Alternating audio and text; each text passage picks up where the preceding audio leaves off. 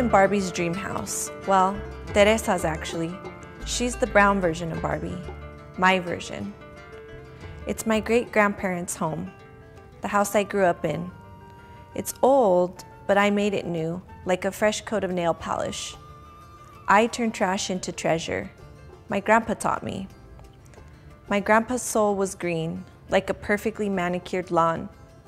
He was meticulous and innovative, a master gardener, chess player, and my hero. He taught me that needs outgrow things. Just like needs and people, things with a little love and care can evolve too. The little old house that's been around for generations had rooms with cracked peeling paint that I turned into colorful tributes to soul energies that have graced the house. It's my dream world. Everything familiar, loving, inspiring, and fortifying preserved. Every rough edge or lonely corner transformed. Until I turn down the music or walk out onto my porch. The world outside Barbie's dream house begs for love and care.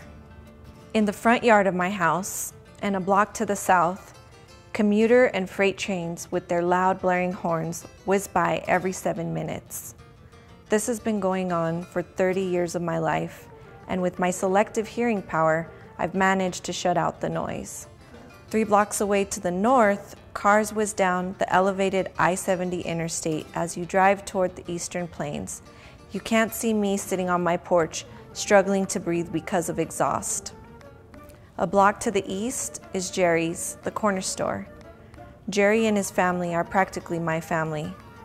In the store, I learned the powerlessness and humiliation of being poor, having stolen, begged, and ironically, having also earned my first paycheck there.